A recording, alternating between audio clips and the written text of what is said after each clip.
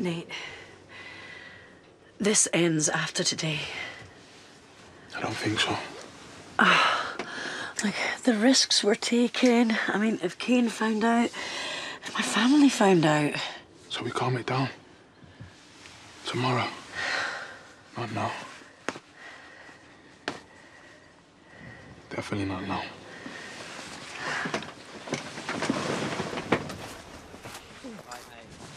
Did you hear that? Didn't hear anything. And Marty, quick.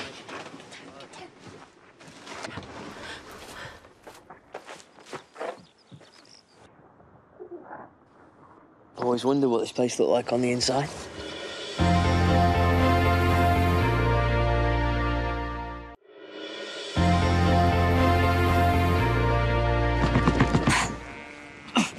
Don't. No, that makes weird. It doesn't seem to be locked. Come on. What are they doing? What's happening? I'll have a look. Sitting outside. Is it safe here? Yeah. No one is back here for hours, mate. Nate's on some uh, course thing tomorrow, so Mum's bound to be grafting him hard.